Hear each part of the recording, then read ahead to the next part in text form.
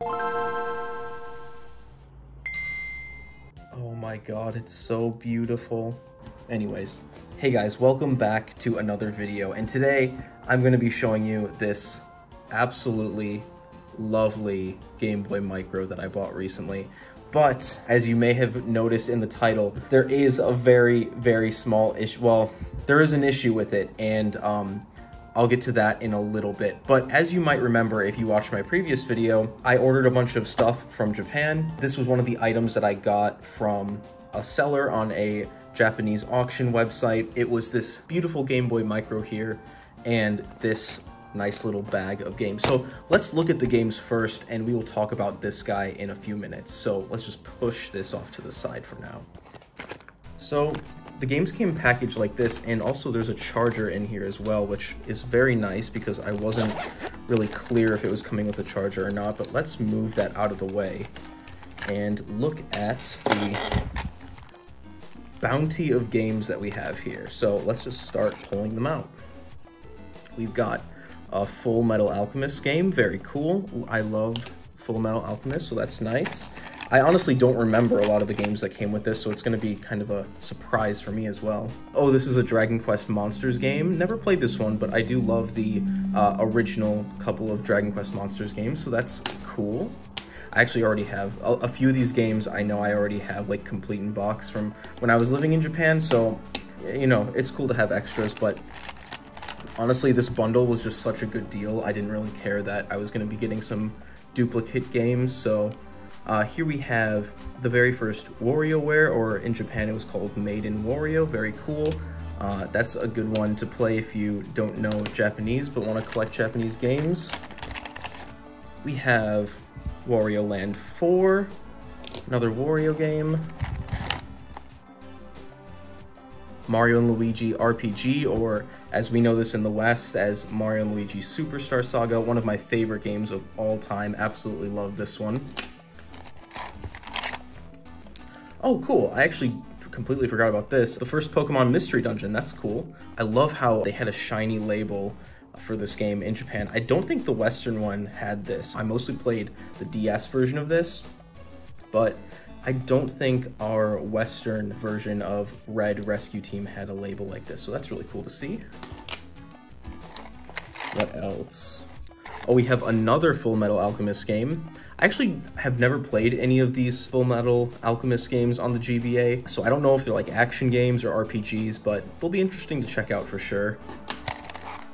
We have, oh, Yoshi's Topsy Turvy. I remember I was really excited for this game when I was a kid, and I thought that tilting the cartridge to move Yoshi around was cool at first, but then I remember actually getting kind of sick of it and never finishing it. But um, maybe I'll have to go back to it uh, and try to play it through from beginning to end. And who knows, maybe I'll like it more these days.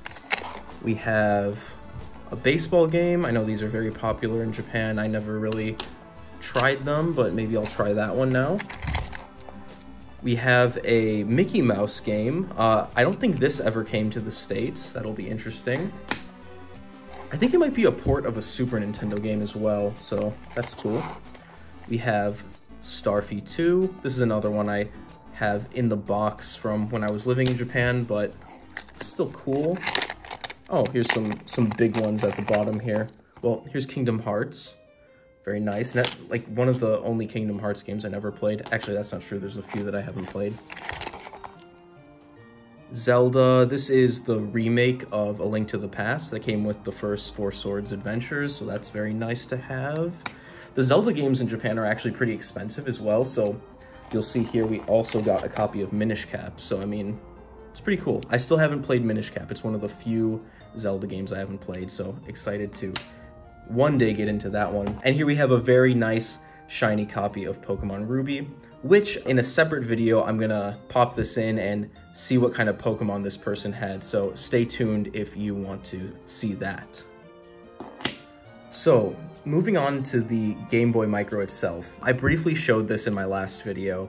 It is in really good condition for the most part. I did go ahead and pop off the faceplate here and I wiped the dust that was underneath the screen. uh, got rid of all that stuff, and you'll see there is, uh, you'll you might notice it when the screen is actually on, but there is one tiny scratch on the screen that I didn't notice that you can see when you're playing games, which is unfortunate. But here you have the Mario 20th Anniversary Famicom style Game Boy Micro. And I remember seeing this thing in like Nintendo magazines all the time when I was a kid and just on the internet and stuff. And I always wanted this specific model so bad. And now I finally have it. I paid $220 for this whole bundle and all the games you see here, which really isn't bad. I was actually really happy with this purchase. I felt like I got a really good deal until after filming my previous video, I popped in a game and was testing it out. Let's put in Kingdom Hearts because it's really easy to notice with Kingdom Hearts. So, you know, it plays fine. Everything looks good. The buttons feel good. They all work. Everything's good. But you'll see when we move uh, the camera, I guess, a little bit. That's so if you look, sorry. Yeah. If you look right there, right above my finger, that might look like a piece of dust, but it's not. It's actually a dead pixel. And it's not noticeable like when you're in light light colored areas like this, so you can't see it at all. But whenever there's like a dark background or something, it looks like there's a little piece of dust there, but that is a dead pixel and it will always be there unless I get the screen replaced. So that's actually very upsetting. I read the description of this item very carefully and I did not see any mention of that. I don't know if it was damaged while it was being shipped here to Australia. I don't know what the heck happened because they didn't have any pictures of this thing with the screen on. So I just assumed that everything was fine. And that really stinks. But I mean, otherwise, it's in like near perfect condition. So, yeah, that's really disappointing. I don't know how much it costs to replace a screen on a Game Boy Micro or if that's even a thing that people do. But either way, I am just really happy to own this. I've always wanted this, and honestly, it's more just a piece for my personal collection more than anything. You know, I have another Game Boy Micro that I bought while I was in Japan. It's the blue Final Fantasy IV one. And honestly, I don't really love playing games on this thing that much anyway, so it doesn't bother me a lot. But it is still a little bit disappointing, so yeah.